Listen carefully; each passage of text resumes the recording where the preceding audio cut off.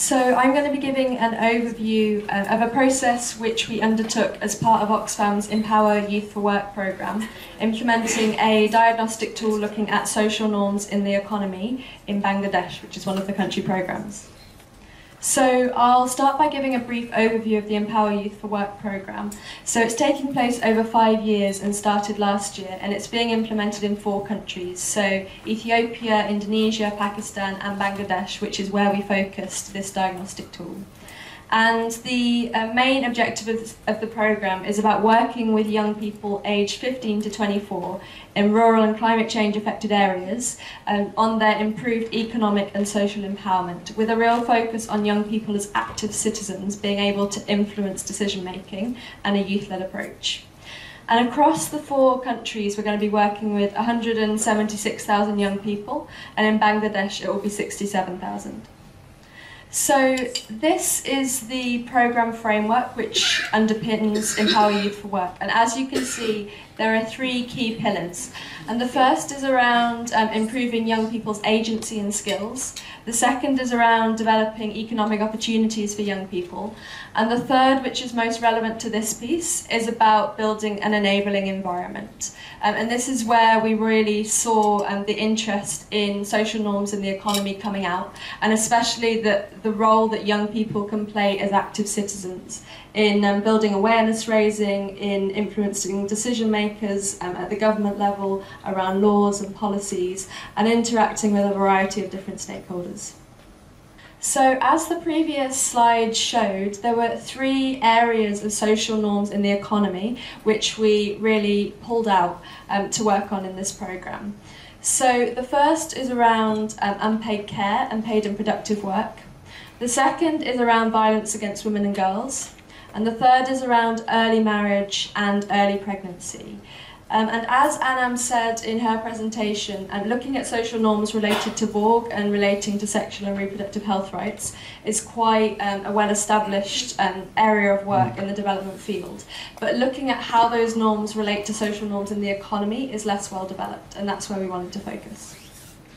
So the Empower Youth for Work programme has already conducted a quantitative baseline survey which looks at some of these norms. So this one-day diagnostic tool was really a chance to dig a bit deeper. So we undertook um, two one-day exercises with groups of about 10 to 15 young people and other stakeholders important in their lives. So people like teachers, parents, um, local religious and community leaders. Um, and what we wanted to do first of all was identify and measure social norms which were impacting on young people's and especially young women's participation in the economy. But we also wanted to go beyond that and looking at how this tool could be an entry point to developing strategies to engage with social norms. And so um, while it's a relatively small intervention, we hope to be able to roll it out to the other three Empower Youth for Work countries and then also see how that might inform our strategies um, around policy change, around awareness raising. So this is really a starting point to being able to shift social norms at scale. So moving on to the methodology. So I'm going to go um, over the structure of the diagnostic tool which we developed. So we split the diagnostic tool into three parts and we used um, some of the key principles which Anam outlined in her presentation. So the first activity was around um, giving the participants an introduction to social norms and then looking at what different influences on social norms might be, as well as how social norms change in different contexts. And then the second activity looked at both gender norms and economic norms relating to unpaid care and paid and productive work. And then the third activity was around identifying gender norms relating to violence against women and girls and to early marriage and pregnancy. So I'll go into each activity in a bit more detail now before passing on to Pushpita, who's going to uh, give an overview of some of the findings. So um, this pulls on some of the tools and techniques which Anam gave an overview of in her presentation. Um, so we had an exercise on what makes a good woman and a good man, um, ex exploring sayings around um, what good women and men do or what they're like. And that led into a discussion on how women and men should behave. So um, referring back to Anam's presentation, this is about looking at injunctive norms, so uh, what people think they should do rather than what people think they do. And then we also wanted to focus on what the community or peers would say. Um, and again, referring back to Anam's presentation, this was about reducing social desirability ability bias, so that um, so that we were referring to what other people thought rather than what they themselves thought. So um, the second part of this activity um, was an introduction to social norms and um, developing some exercises which acted as groundwork for developing strategies for change. So first an exercise on how social norms in their context have changed in the last few years to introduce the idea that social norms can change and that they do change. And then second, a mapping exercise on influence of social norms. So these are the reference groups which Anam was talking about. So people like peers, parents, teachers, um, religious leaders or sort of more national figures like celebrities, but then also looking at things like laws or policies, um, schools, training, evidence and information, or the media. So the second uh, activity looked at unpaid care and productive work. So first looking at economic norms about how people perceived unpaid care and paid and productive work to be skilled or valued. So first participants were asked to rank unpaid care and paid and productive work um, according to whether it was skilled or valued. And then there was a comparison of those tasks which were seen as most skilled or valued and least skilled or valued with those tasks which were normally done by women or by men. And then we explored the advantages and disadvantages of reconsidering what the skill or value of those activities might be. Um, and this was introducing the concept of shifting those social norms. And then the second part of this activity was looking at gender norms relating to unpaid care and paid and productive work. So looking at what the norms were around gender roles. Uh, and this was really focusing on developing strategies for change. So uh, the first part was around exploring barriers to women doing what was perceived as men's work, so often paid and productive work, and um, barriers to men doing what was seen as women's work, so often um, unpaid care work. Uh, and then we moved on to doing a ranking exercise of the feasibility of men doing unpaid care tasks or productive tasks that were traditionally seen as um, women's tasks, and then of women doing paid and productive tasks which were seen as men's work. Um, and this was about looking at identifying which tasks would be easiest to shift norms about gender roles around. And then finally, um, there was an exercise around brainstorming interventions based on uh, effective influences and drivers of change. So the third and final activity looked into gender norms around violence against women and girls and on uh, early marriage uh, and pregnancy. So we started off with a statement um, which we presented to participants. And this is the example that we used um, with the Violence Against Women and Girls group, but we split the group in two and the other looked at early marriage and pregnancy. So we said, taking into account the experiences of this community, to what extent have local women been hit or beaten in their households over the past year? And then participants were asked to anonymously rate um, to the extent to which they agreed with the statement. So from almost never happens here to frequently happens here. So this was done anonymously, and then the different range of responses was presented back to, um, to the participants. And um, this was a way of focusing on the experiences of the community, not the individual, so again distinguishing between norms and personal beliefs. Uh, and then we had um, an anonymous mapping of participants' perspectives, again to reduce um, the chance of social desirability bias. And then we wanted to have this question on descriptive norms, so what people think people do, as an entry point into a discussion on injunctive norms, so what people think people think they should do. So the final part of this exercise was moving into the discussion. So the discussion around gender norms relating to violence against women and girls had discussion questions exploring two areas. So first about um, the the censure um, that might happen when people transgress gender norms, and this is what Anam was talking about as well. So um, this might be transgression of gender norms relating to unpaid care. So, for example, um, if a woman burns the dinner or comes back late from collecting water, Um, but then also transgression of gender norms relating to um, women's involvement in paid and productive work. Um, so if they might experience violence after having increased mobility or increased income as a result of economic participation. But then the second part looked at fear of violence against women um, as a result of, of gender norms, where um, women might be um, afraid to um, start being involved in paid work because it would mean um, experiencing harassment or violence in the workplace or on their way to work. So these are the discussion questions which explored gender, gender norms relating to early marriage and early pregnancy. Um, so first, we looked at the injunctive norms or the expectations um, in in the community which existed um, around young men and young women marrying and having children. But then the second part was looking um, at the impacts of early marriage and early pregnancy on young people's economic participation. So this was both how women are limited in their economic participation by marrying early or by having children early, but then also how norms relating um, to how working women are seen, so working women being seen as undesirable or being unfeminine, um, might impact on um, young people's economic participation. So I'm going to hand over to Pushpita now, and she's going to give an overview of the findings. Thank you, Imogen, and Thank you, uh, everyone. I'm Pushpita, and I'll be sharing the findings from the testing of the social norms diagnostic tools that uh, Imogen has given an overview about. Uh, so, uh, I'm just going to give an overview of uh, how we did it. Like, it was a two-day workshop in two places where we're having the uh, employee, we're implementing the Empower Youth for Work project in Bangladesh and we had around, as Imogen mentioned, 10 to 15 participants from different social and economic backgrounds during the workshop. And uh, we tested the tool over uh, at each place over an entire day.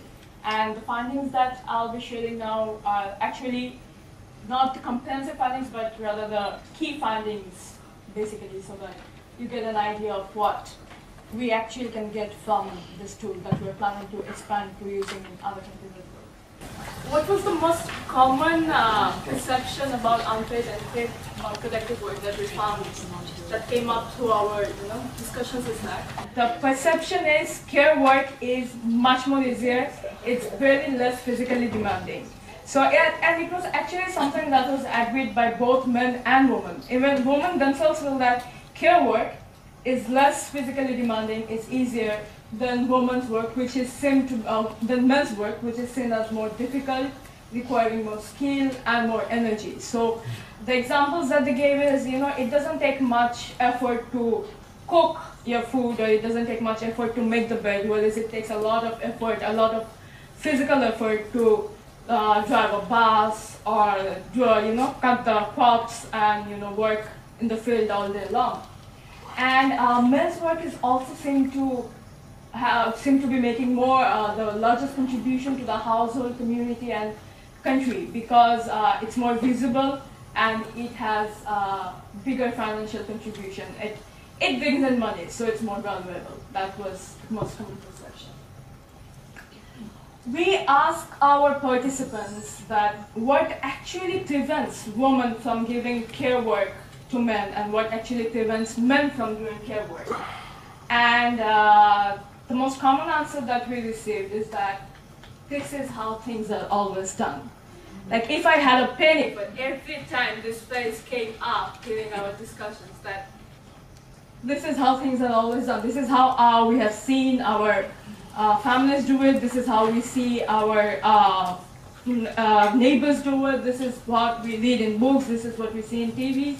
So this is the norm. This is what we see of being like we try to go beyond. Like why is this the no no why is this the you know how why is this always has to be like this and they're like it was like we were asking the strange question like are you from outside of this country or something? Like why are you asking this? Because you know that this is how it is always done. That's that's the complete you know, range of answers.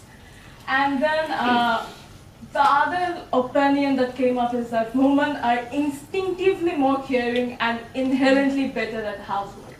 The interesting point to note here is that it was women who made this point more than men themselves.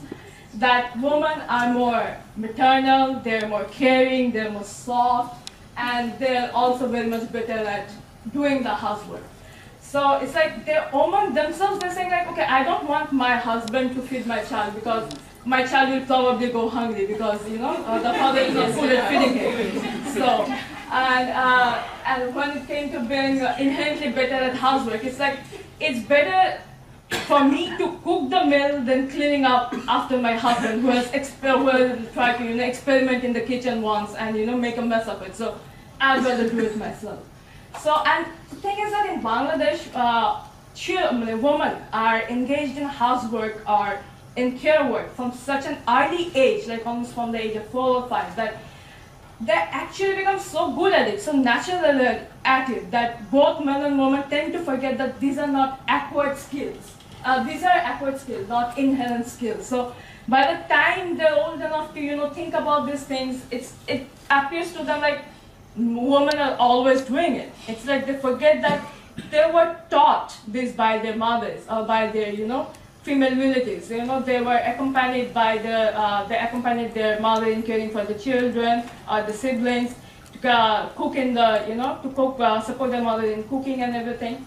So this become, you know, lost. This gets lost in their mind after a time. And also, as I mentioned earlier, that women, uh, there, there's also feeling that women and men are not physically equipped to do each other's work. Like, women are more delicate, they have delicate fingers, they can do, you know, delicate needlepoint work, but men with the clumsy fingers and less patience, they cannot do needlepoint and, you know, make good desserts that, you know, requires, you know, a lot of intricate work. And of course, there is the uh, social stigma related to men doing their work. The men said that they feel emasculated when they have to do women's work. It's like uh, other people, they ridicule them. It's, uh, they feel it's humiliating when they do women's care work.